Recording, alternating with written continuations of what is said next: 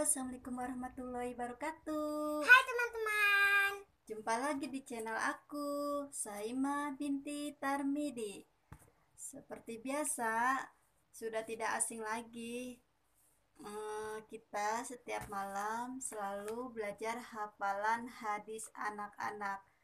Oke, sebelum belajar menghafal hafalan hadis, anakku akan membaca cerita tentang 20 Nabi nabi dan dan Rasul ya teman-teman. Oke, sebelumnya hai. Hai, apa kabar kalian semua? Semoga baik ya dan sehat selalu. Hmm, amin. Oke deh, ayo kita baca ceritanya. Pertama, cerita tentang apa? Nabi Adam. Oke, yuk kita mulai. Oke. Asal mula langit dan bumi.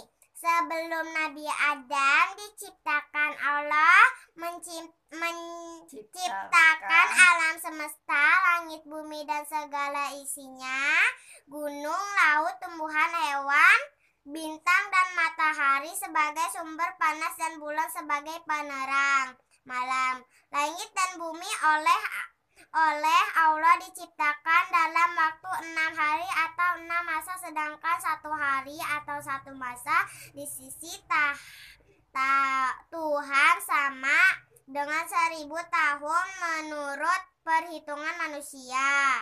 Allah Maha Kuasa apabila menghendaki sesuatu cukup berfirman. Kun jadilah maka jadilah apa yang di, diinginkannya. Demikianlah hanya dalam beberapa hari saja proses penciptaan alam semesta sudah berarti jutaan tahun bagi manusia tidak heran jika il- ilmuwan menemukan fosil yang usianya jutaan tahun.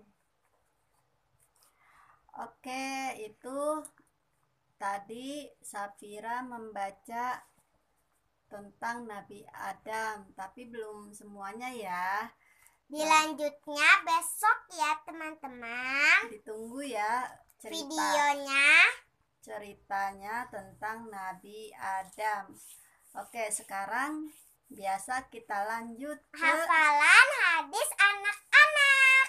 Oke, sekarang Safira mau membaca hafalan hadis kewajiban menuntut ilmu. Oke, Bismillahirrahmanirrahim.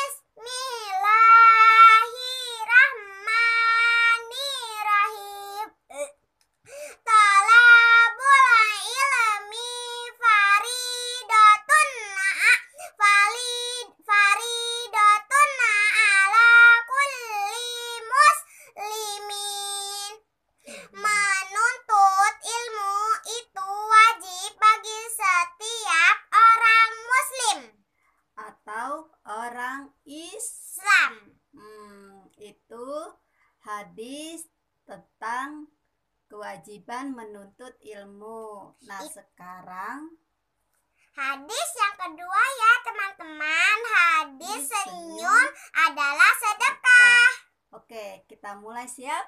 Siap Ayo, mulai. Bismillahirrahmanirrahim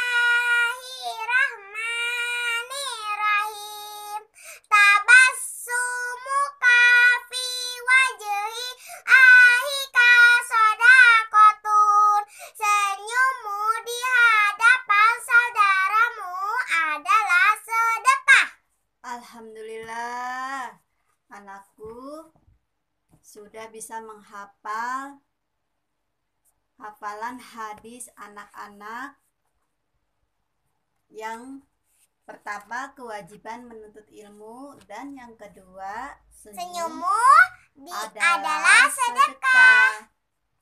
Oke. Jangan pernah bosen ya untuk menonton video ini. Ya, jangan lupa di subscribe dan tombol loncengnya dinyalakan. Oke. Sesudah dan sebelumnya kami ucapkan Salam ya.